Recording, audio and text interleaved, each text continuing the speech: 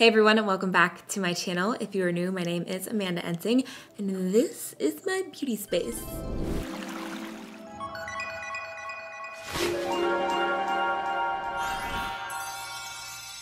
So in today's video, I'm gonna be doing a product review, a first impression wear test of the brand new Laura Mercier concealer. So I just got this in the mail. It is the Flawless Fusion Ultra Long Wear Concealer.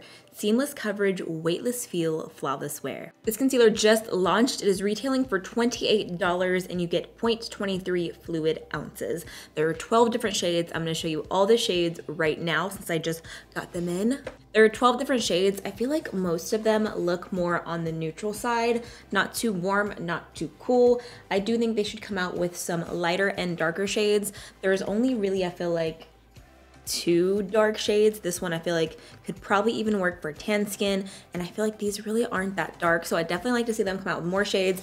And then on the other side, for the lighter shades, I don't know how it's showing up on camera, but this really doesn't seem that light. I feel like fair girls wouldn't be able to wear this. I don't know. I'm gonna swatch them on my hand right now for you guys so you can see the lightest and the darker shades. But before I swatch them, let me read to you guys a little bit about the concealer, just what it claimed to do. So this is supposed to be coverage. I have like a little pamphlet right here they sent. Coverage that won't crease. It's medium to full coverage, flexes with skin to seamlessly conceal under eye darkness and facial imperfections. All day hydration creates a crease resistant natural finish. It also says it has a weightless feel with a blurring effect. So it's lightweight and you can't see it on the skin. And it has a blurring powder blend that diffuses light to smooth the look of fine lines and create a soft focus effect. I'm all for that if it does that. It claims to have 12 hours of high performance wear, powered by skin fusion technology, long wearing flexible polymers fused to skin for a wear that's transfer, sweat, humidity, and water resistant. Should I dunk my head in water and see if it is? We'll see. It says use the doe foot applicator wand, dot under the eyes over discolorations and imperfections onto any areas of darkness, gently press and blend with fingertips. So it recommends using your fingers. Okay, so here are the pictures of the models, which they look great. I'm gonna swatch on my hand the two lightest and the two darkest shades just so you can see. The lightest shade right here is 1C, and then the next lightest shade is 1N, which this is what it looks like. I really like the packaging. The packaging feels really nice. And these are two very different undertones. The first one is very peachy. This is the lightest shade. If you guys can see, it's very, very peachy in person, like pretty, pretty orange. I'm, I'm not for that shade. And this is 1N. And then the two darkest shades, I have 6N and 6W.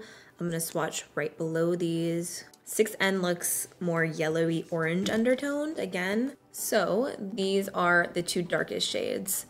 I don't think they're that dark. I think that they definitely need more darker and lighter shades. So I'm gonna go in with the shade 2W. This is what the color looks like. So I'm gonna start on this side of my face. I'm just going to go underneath of my eyes and blend it out with my fingertips since it recommends doing it that way.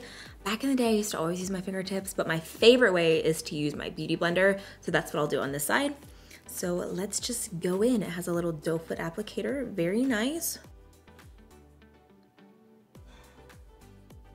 Now it says that it's very hydrating so it doesn't crease, but in my experience, sometimes concealers that are too hydrating will crease. I definitely like more hydrating concealers, but they can crease if they're too hydrating.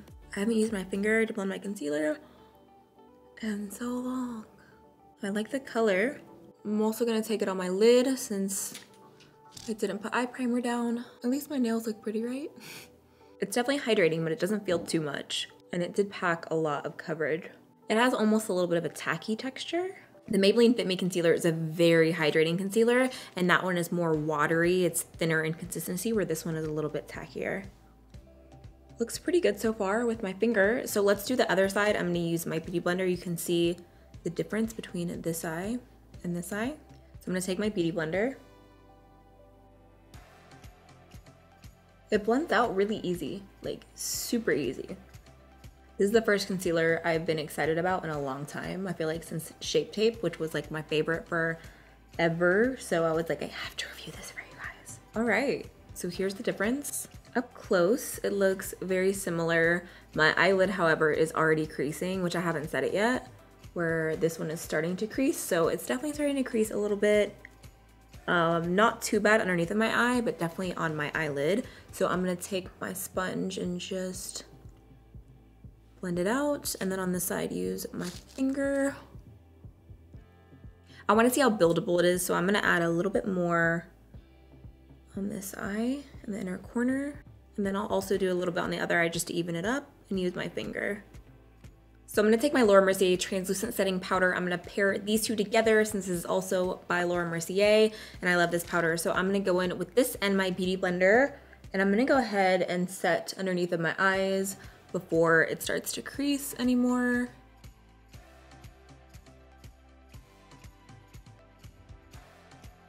And I'm gonna apply a little bit on my chin and down my nose where I normally highlight and around my nose where I get redness. And this time I'm gonna blend it out with a brush just to see how it blends. This brush is a Morphe E56. I mean, still it blends really easily. Very nice. I'm gonna dust off the excess powder on my eyes. I'm gonna add a little bit below where I contour. And this I'm gonna blend out with my Beauty Blender.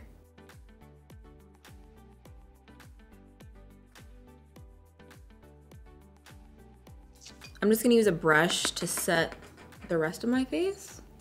I'm not gonna bake.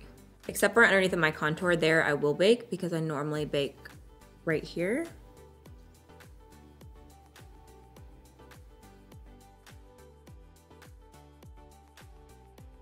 So I'm gonna take 6N, the second darkest shade, and we're gonna try to contour with this just on the cheeks and see how it blends. I'm gonna use my Beauty Blender to blend this.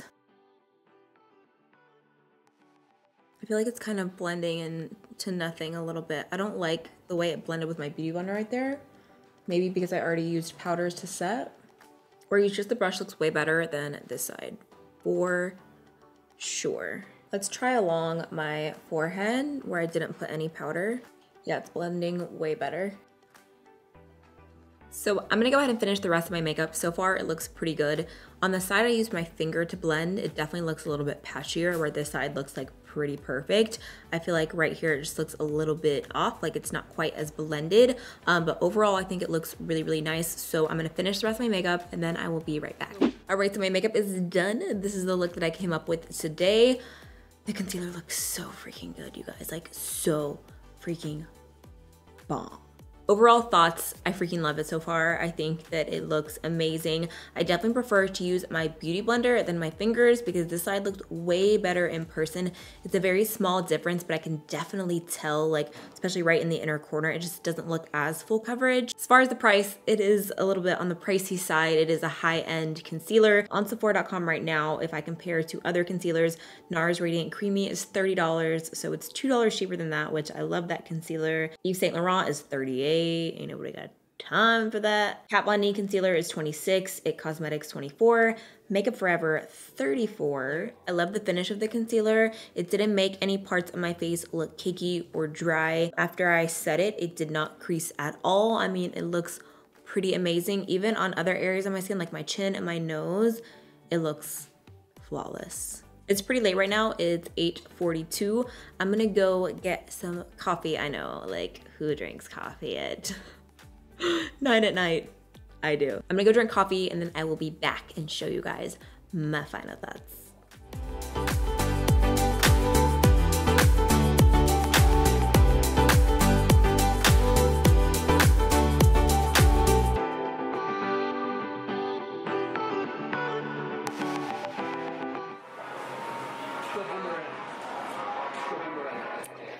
Mojito leaf just dropped.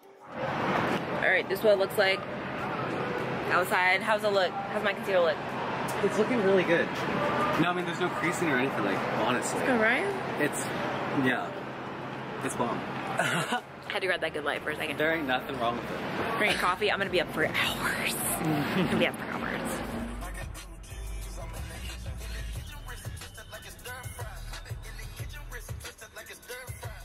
All right, you guys, we're back. We're back. 120, 125 a.m. It's time to go to bed. I'm tired. So it's been on for what, five hours now? So it looks freaking good. I know it's only five hours, but I feel like that's still a good amount of wear. Oh my gosh, it looks freaking good. Like it looks freaking good. I was outside, it was freezing cold. I think that it looks bomb. Highly, highly recommend. Go check it out. I'm loving it and I'm super excited to keep wearing it. This is the first concealer I've been excited about in a really long time, so I'm glad that it wore really good. I honestly didn't think it was gonna be as good as it wore. I'm usually really, really hard to please when it comes to concealers. Like, I'm super picky with the concealers that I like, but so far I really like this one. The coverage stayed very even. It didn't flake off. It doesn't look cakey. It looks great.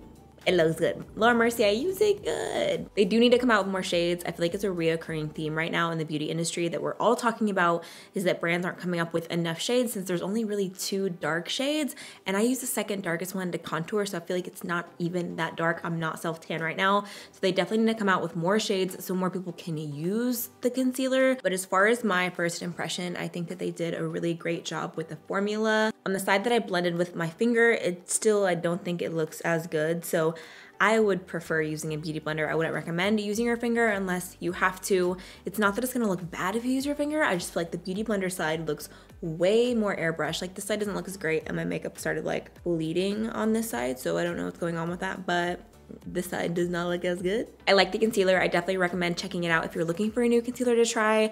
I do have concealers that are like a fraction of the price that I like just as much, like the LA Girl Pro Conceal, which is under $5. I love that concealer. So if you don't want to spend the money, I don't think it's something like you have to have. But if you're looking to try a new concealer, I definitely recommend it because like I'm loving the way it looks. Hope this video was helpful for you guys. Make sure to give it a thumbs up if you liked it, if it was helpful. Hit subscribe, join my A team if you have not already, and make sure those post notifications are turned on. Thank you as always for watching guys, and I will catch you in my next video.